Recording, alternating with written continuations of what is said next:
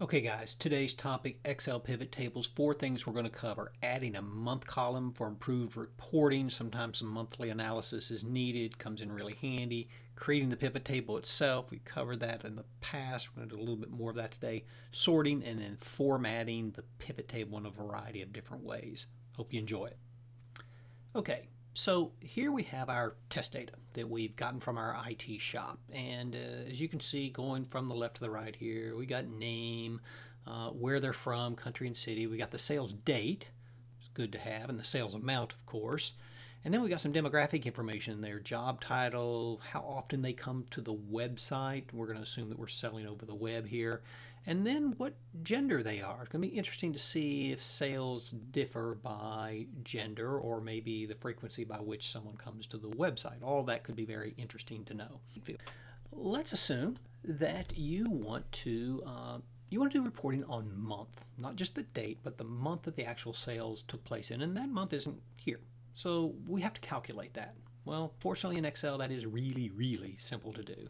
The way you do this is just highlight the column by which you want to put the month column next to, right mouse click, click insert, let's give this a title, sales month, and then we're going to insert an Excel formula for month to calculate the month based on another cell, in this case a date cell, uh, right next to it. Now there's there's a lot of different ways to do this, but this is simple. I've got this one memorized, and uh, so bear bear with me on this.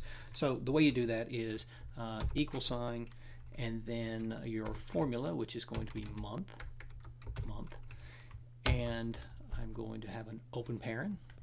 Click on the cell that I want to calculate to a month, close paren, hit enter, and there you have, and you can see that the sales took place in uh, February, and that was month number two.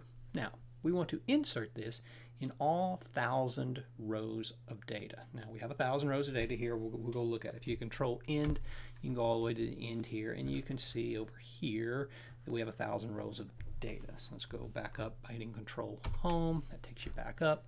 And the way to copy this down. You want each of these rows to have a sales month. The way you do that is, and then there's again several ways to do this, but the easiest way is to place your cursor in the lower right hand corner until, until it turns into a cross, double click, and there you've inserted the month into all of these uh, all of these fields that you can see right here. And let's clean that up a little bit. Put this in the middle here, and uh, there we've got our sales month. Okay. Now, at this point, we are ready to uh, start with our pivot table. So the way we do our pivot table is highlight all of your columns over here in the upper left and go to Insert, Pivot Table, and let's just take the defaults, keep it simple. And here you have your pivot table canvas, so to speak. Your pivot table is going to go over here on the left. Now over here on the right are the various fields that we have to work with. Now this is where the magic happens, is this little quadrant down here on the lower right. You can apply filters based on this data. You can turn data into columns, and you can of course have rows, and then each of those rows will have values associated with it. So let's just play with this for just a minute here. So let's say now we want to look at our data by, let's just say date. And uh, we will create a, uh, a date report and we'll sort it in descending date order from earliest January to uh, latest in December, and uh, and then we'll we'll insert the amount, of course, to see what our sales by date are. So the way to do this is you just simply go up to the sales date field, drag it down to your row labels. There's all of our dates in uh, in date order by the sales date, and we'll bring the amount over here. Now, it gives us a count at this point. Now, there's ways to play with this default, but it's beyond this. But uh, anyway, to change that, we covered this in another video, but to change that, go to just click on this count field here, go to value fields, change that to a sum, and there you have the sum. Let's convert this to a dollar value here, and I don't want to see, I'm not worried about uh, anything to the right of the decimal, so let's just take that away. And here you've got a pretty, uh, a pretty good looking, a good looking uh, uh, uh graph here, or a good, good, looking report rather. So that's one way. Let's say we wanted to look at this by month instead. Well, we can take the sales date out here, insert the sales month, which is here, and uh, there you have uh, a report of sales by each month. Now, there's this blank row here, which Excel often inserts. The way to get rid of that is you can go up here, and instead of selecting all, you can deselect blank, and there your blank row goes away. So here you got a pretty good looking, uh, good looking report. Let's just imagine that we want to look at our sales by gender, but by the month in which the sale took place. Could be a challenge, but not here. You're going to get this real easily here. So the way we do that is uh, instead of bringing month here to the row, we're going to bring the month over here. And we are going to bring, oh, so, so now I have a column for each month. Okay. And uh, I want to, let's, let's just say I want to center that. All right. And uh, I want to look at this now by gender. So we drag gender here to the row label. And there you can see the month of the sale by the gender of the person that, that, that, that, that made the sale. Now, let's say we want to look at that by, oh gosh, let's pick something else. Website frequency. That could be that could be pretty interesting to look at. Let's remove gender, and here's website frequency.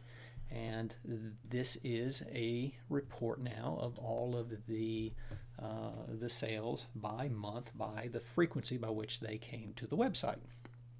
Now, let's let's even let's change this up a little bit also and this this really gives you the shows you the, the power that you that you have with excel. Let's say we want to look at averages instead of sums. So on on average what is our uh, sales by month by gender for instance? So the way you can do that is you can again click down here on my value field settings and change that to average and you notice you can do the same with maximum, minimum, and, and there's all sorts of calculations. This is an enormously powerful uh, fe feature here in Excel. But we're looking at averages here, and there are my average purchases by the by the uh, amount of frequency, the frequency by which they came to the website. If we think that doesn't make sense, we can just simply remove that.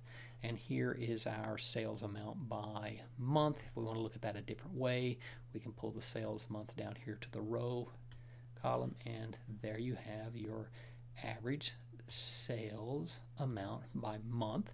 If we want to sort that into our most um, uh, our, best sale months maybe we want to see that at the top. You can right mouse click on the amount field here uh, sort uh, largest to smallest and you can see that uh, February is our biggest uh, our, our busiest month so there we covered all sorts of uh, of ways to, uh, to, to, to play with your data in Excel, to do the analysis of your data in Excel.